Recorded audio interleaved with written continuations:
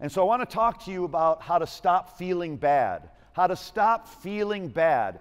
And it may sound like a very superficial kind of teaching. Oh, feeling bad. Like, why would God care about that? Because God cares about everything about your life. He cares about every detail of your life.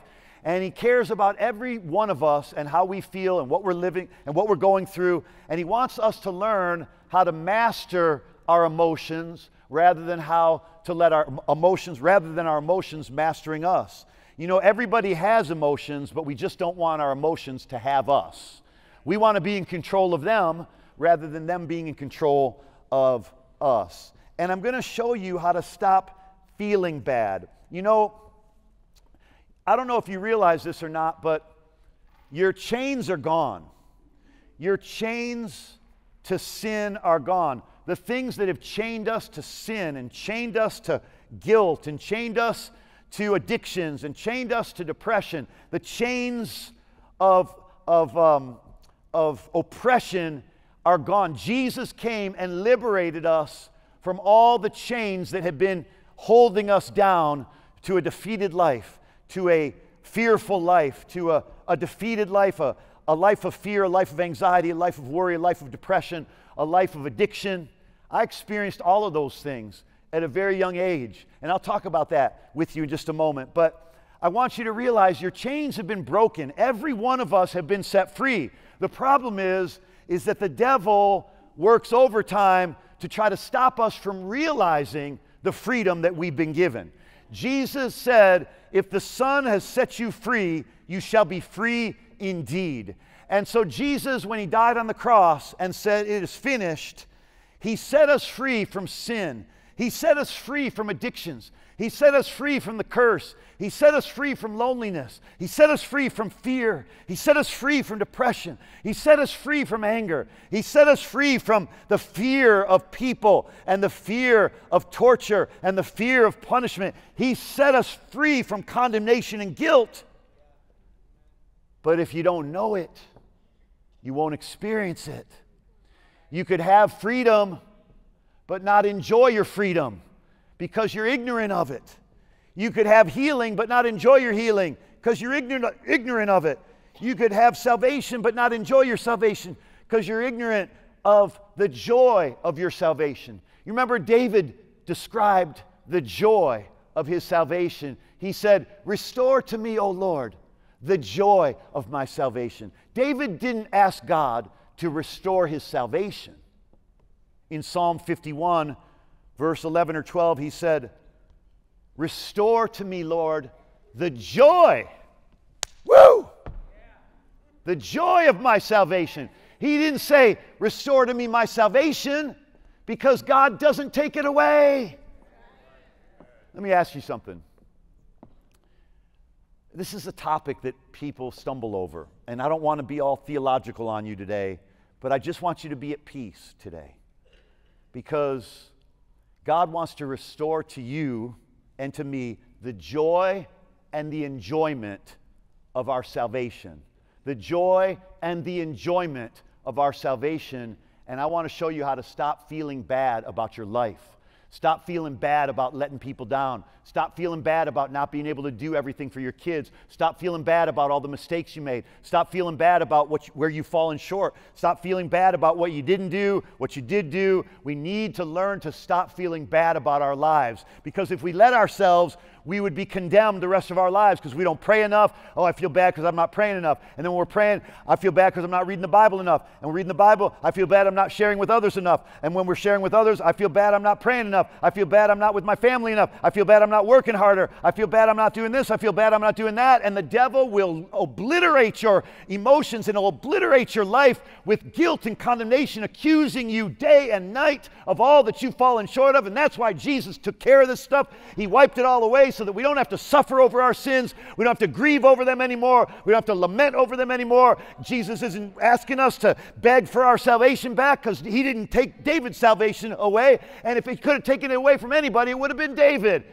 with all the things he did wrong, but he didn't take David's salvation away. So why is he going to take yours away? He's not ever going to do that because the Bible says in Romans 11 29, the gifts of God are without repentance. They are irrevocable. And the greatest gift of God is salvation. Because I didn't earn it, you didn't earn it. Can, any, can everybody agree that salvation is a gift? Is one of God's gifts? It's the best gift, right? Come on, talk to me now. It's the best gift, right? And what does it say about the gifts and calling of God? They're what? Irrevocable. Irrevocable. He's not taking them back. Sorry, you smoked a cigarette, you're gone. Sorry, you had a bad thought, you're out of here. Sorry, you had lust in your eyes, I'm plucking one out. Jesus, when Jesus came, he fixed it all. He washed it all away. Everything was broken, everything was fragmented, everything was understood just in pieces. But when Jesus comes, he fulfills the picture and he gives us total picture of what he is and who he is and why he came. And let me show you what, one of the reasons he came because he came to remove our sins, came to restore us to the Father. But let me show you what else he came to do. John chapter 10, verse 10. Watch this. John chapter 10, verse 10. For the thief, Jesus says, the thief comes only for three reasons. What are they? The thief comes to steal. Sounds reasonable for a thief. The thief comes to steal, kill, and destroy. This is what the devil wants to do in your life. Wants to steal, kill, and destroy. Jesus said, But I have come. Hey, I love that word, but. But I have come that they may have life and have it abundantly. Now, the Amplified Bible says it really great and really brings out the fullness of this verse. It says, The thief comes only in order to steal, to kill, and destroy. Jesus said, But I came that they may have and enjoy life and have it in abundance to the full till it overflows. Now, if you look at your life right now, you'd probably have to admit you're not living in this life of enjoying life, abundance to the full till it overflows. You want to know something? Everybody's going to overflow with something. You're either going to overflow with bitterness, you're going to overflow with a at- negative attitude. You're going to overflow with complaining. You're going to overflow with ingratitude. You're going to overflow with um, pessimism. And you're going to overflow with a victim mentality. Or you're going to overflow with love. And you're going to overflow with joy. And you're going to overflow with peace. And you're going to overflow with kindness. And you're going to overflow with the life of God. But I want you to see this. These are Jesus' words. He says, The devil has come to steal, kill, and destroy, but I have come that you may have and enjoy life. And here was my point earlier. He said that you may have and enjoy life. We all have eternal life. When you are born again, when you accept Jesus Christ as your Savior and Lord, you have eternal life. But He says He wants us to have it and enjoy it. He wants us to have it and enjoy it. Oh, if I can get this across to you that God wants us to have the life, and we all have it, but He wants us to enjoy it too. I used to wake up every day as a Christian after I got saved around 17 years old. I used to wake up every day sad, feeling bad about myself, feeling bad. I hadn't done anything that night. it's like the guy that, you know, prays, Oh God, I just want to thank you that, you know, that I just want to thank you for, for all your goodness. I want to thank you that You've helped me and you've protected me from all the evil. I haven't done anything bad today. I haven't cussed yet. I haven't hurt anybody. I haven't stolen anything. I haven't lied. I haven't cheated all day. But Lord, I'm about to get out of bed this morning and I'm going to need your help then, the rest of the day. Some of you get that later. All right, so here's the thing. I used to wake up every day feeling bad, like I don't pray enough. I'm not holy enough. I'm not pure enough. And God wants us to be delivered from all that bondage. And He wants you to know you're enough. and He's enough in you. And nothing can separate you from His love. Nothing.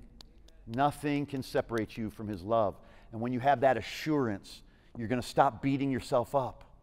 We beat ourselves up because we're not, we don't do enough for everybody. We don't do enough for our kids. We don't do enough for our, for our spouse. We don't do enough for our friends. We don't do enough for, at our job. We just never feel like we do enough, and God doesn't want you to feel that way anymore. Look, look, this, like, as far as you being productive at your job, that's not on me. That's I'm not here to get you to be productive on your job. Like if you need to be motivated at your job, then hire a motivational person to help you at your job and in your career. Go to a seminar at your job. I'm talking about at life. Every day, every breathing moment of your life, you can be happy, you can be fulfilled, you can be content. I mean, there are ups and downs for everybody, don't get me wrong. But what I'm saying is we've been robbed of the joy and the happiness of our salvation because we thought because we feel guilty all the time. When are we going to stop feeling guilty? Look at Romans chapter 8. I got to show you this in verse 31. What shall we say then to these things? So we're going to have to start saying some stuff.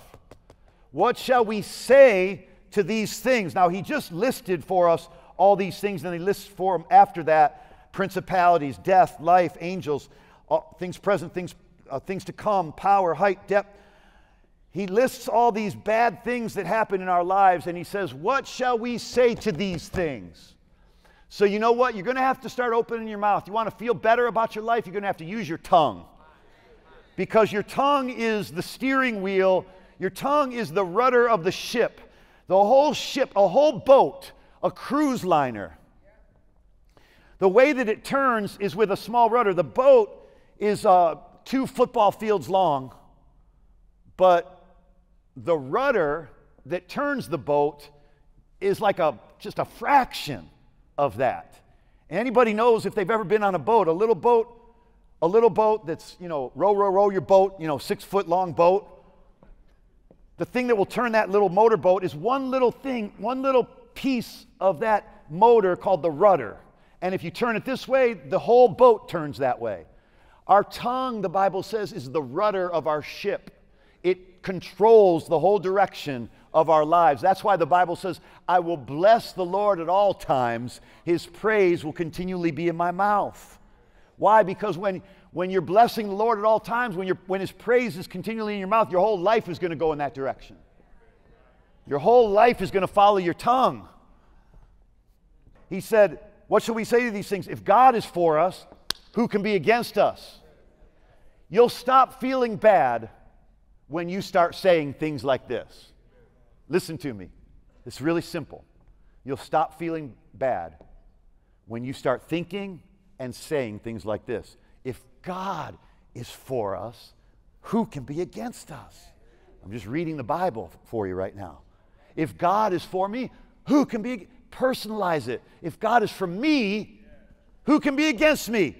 He who did not spare his own son, but delivered him up over for us all, how shall he not also with him freely give us all things? Who will bring a charge against God's elect? God is the one who justifies. Who is the one that condemns? Verse 34 says, Christ Jesus is the one who has died and is rather is raised from the dead, who's at the right hand of the Father, interceding for us. Who can separate us from the love of Christ?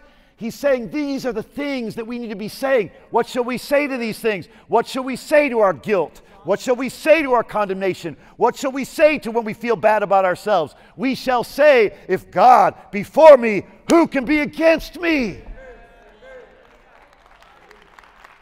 That's what we should say.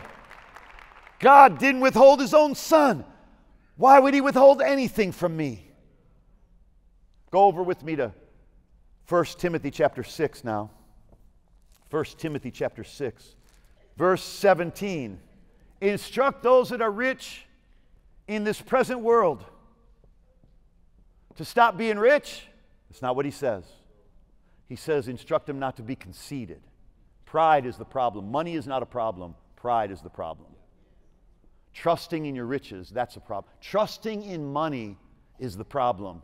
Trusting in God. It's funny how on our money, it says, In God we trust, but we trust the money more than we trust God. Instruct those that are rich in this present world not to be conceited. and do not fix your hope on the uncertainty of riches, but on God. What is he saying? Fix your hope on God.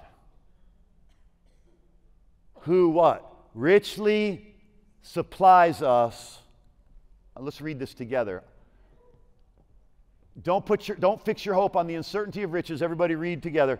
But on God, who richly supplies us with all things to enjoy. You know what? I'm going to tell you something. Most Christians are shocked this is even in the Bible. Most Christians don't even know this is in here. And once they see it, a lot of people right now, maybe not a lot of you here, maybe somebody watching, or maybe a couple people here, you want to fight me about it. I don't want to fight you about it. It's in the Bible. I'm taking it. I'm taking it. I receive it. Healing's in the Bible. I'm taking. You want to argue about it? You argue. I'm speaking in tongues. You want to argue about it? I'm walking in healing. You want to argue about it? I'm going to be generous. You want to argue about it? I'm going to teach people about Jesus. You want to argue about stuff? You go ahead and argue about stuff. But I'm taking the Bible word for word, the way it's written is way, the way He meant it. We just need to understand. We just need to understand the context of it. God richly supplies us with what? All things to what? Enjoy. Enjoy. Really, He's more interested in us enjoying life than us having the things that cause us to enjoy life. The goal is not the things, the goal is the enjoyment of the thing. Like God wants us to enjoy our families. He wants us to enjoy our day. He wants us to enjoy our jobs. He wants us to, you're not going to enjoy it if you think that God doesn't want you to. If you ha, if you believed a mystical, mythical uh, belief in that you're, that you're meant to suffer and you're meant to be miserable. That's a lie. Jesus bore our grief and he bore our sorrows so that we could be healed, not so that we could remain in grief and in sorrow, but so that we could discover happiness and joy. Jesus said in John chapter 16, 24, He said, Ask and you shall receive, that your joy would be made full the goal is not even, look, he said, up until now you've asked nothing, but ask and you shall receive so that your joy may be made full. Look at his goal. God's goal, Jesus' goal for us is the point of having the joy, the fullness of joy, that your joy may be full. He, he's the, so, so often we've focused on, I got to ask and receive, I need this thing, I need this thing, I need this thing. God's just using that thing to bring you to a place of joy. God's goal is for you to have joy. In His presence is fullness of joy, and at His right hand are pleasures forevermore. Boy, if we could just get a hold of this, that the, that the point that Jesus is getting to here is the fullness of joy, not asking and receiving. Asking and receiving is a mechanism, asking and receiving is a method to get us to live in the joy that God intended, to enjoy our lives, to enjoy God. We need to be enjoying our relationship with God. And I'm going to tell you why most people aren't enjoying their relationship with God is because we labor under the guilt of how we've let God down. We have let ourselves down. We have failed. And the reason people do not enjoy their relationship with God is because they base their relationship with God on the promises that they've made to God. I promise you, God, now that I'm saved, I promise you, God, I'm going to be good. I promise you, I'm going to pray. I promise you, I'm going to read more. I promise you, I'm going to do better. I promise you, I'm going to be holier. And we make all these promises to God that guess what? We can't keep. And then we're disappointed in ourselves. But Christianity is not built upon the promises that we make to God. No, Christianity is built upon the promises that He makes to us. Your Christian life must be built around God's promises, not your promises. It's God's promises toward us, not, hit, not our promises towards God. Now, if you just focused on God's promises in the Bible and you just prayed this prayed God's promises, spoke God's promises, thought about God's promises, expected God's promises, you would have peace and you would have fullness of joy. But when you're full, and you would enjoy your relationship with God, and you like there are times where I'm just talking to God, oh Lord, I just love you so much, and thank you for being my father. Thank you for loving me. Thank you for your love. Like that may not sound spiritual to you, but it sure as heck is spiritual to me. It's real to me. I enjoy my relationship with God because it's no longer built around my failure. It's all built around what He did for me.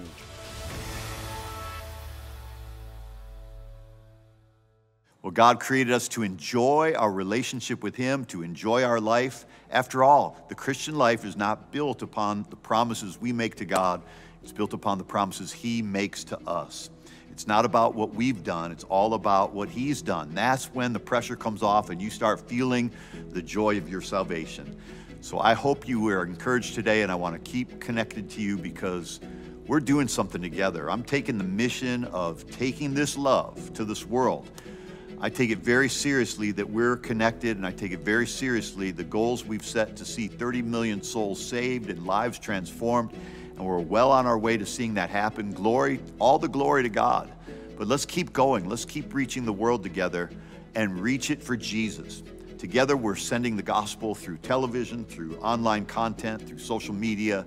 We're reaching the lost and the hurting through crisis relief programs orphan and widows projects, global church planting, and our solar powered audio Bible translated into 10 languages, the top 10 languages of the world. Your donations are making that, making that happen, really, and the long term effect that your generosity is having is eternal. Thank you so much for those of you who have partnered with me already. Now, I want to ask you to think about two things today. Number one, would you consider sowing a significant one time seed? Of $250 into our mission to see 30 million souls saved and lives transformed. We have an open door to expand our reach even further, getting these solar powered audio Bibles into the hands of those who need to hear the gospel the most. And number two, as the Holy Spirit leads you, would you consider becoming one of my Love in Action partners? For $20 a month or $240 annually, you'll be helping me reach our goal 30 million souls in the next two years. Also, when you partner with me, you have you'll receive exclusive partner benefits. Don't hesitate. Pick up the phone, call the number on your screen, or go to gregorydickow.tv. And I want to personally thank you by sending these awesome resources into your hand. I want to put my book into your hand, Soul Cure, and as well the other materials that you'll see on the screen. My announcer will tell you more, and I'll be right back to pray for you. As a special thank you for your gift of $50 or more, Gregory Dickow wants to send you more teaching on today's topic, including his popular 4 CD series, Your Number One Weapon for Winning Every Battle, along with today's teaching in its entirety to help you grow in your understanding of God's matchless and unwavering love for you. Go to gregorydickow.tv or call the number on your screen now and ask for offer number one Stop Feeling Bad. With your generous gift of $175 or more to help Gregory Dickow advance missions and gospel efforts around the world, Gregory Dickow will not only include his brand new book, Soul Cure, as a thank you for your generous support, but he will also send you his popular two CD teaching series, The Solution to Every Problem in Life Believe in the Goodness of God, along with his popular book, Taking Charge of Your Emotions. Simply ask for offer number two Stop Feeling Bad. Consider the Love in Action Partnership Program at either $20 per month or $240 per year. Exclusive partner benefits include personal monthly special project email updates, product specific 50% off discounts in the Gregory Dickow Ministries web store, quarterly above and beyond surprise partner only thank you gifts, unlimited downloadable content and for joining today, Pastor Gregory Dickow will send you a personalized signed copy of his brand new book, Soul Cure. Ask for offer number Love in Action Partner. Well, I want to encourage you and invite you to ask the Holy Spirit to inspire you to do something in the next few moments that will matter for eternity. Remember, our Christianity is best expressed when we're sharing the gospel of Jesus with people worldwide, but especially with those that need it the most the persecuted, the helpless, the forgotten, the minimized. Jesus said, What we've done to the least of these, we've done it unto him. So thank you for helping make it possible for me to get these audio Bibles, these solar powered audio Bibles, into the hands of precious people who need to hear the gospel like they've never known before. Now, can I pray with you and agree with you? Father, I thank you for delivering us from condemnation and guilt and shame, these forces that are making us feel bad, these forces that are constantly accusing us and telling us we're not enough. We bind the forces of darkness, we bind the spirits of accusation, and I just release supernatural peace and joy in every person connected to me right now in Jesus' name. Amen. Well, remember to connect with me on social media as well Facebook, Instagram, TikTok, Twitter. Uh, text me on the number on your screen as well. And remember to set your DVR so you never have to miss another broadcast. And I can't wait to see you on our next broadcast. Remember, God's not mad at you, He's mad about you. All right, God bless.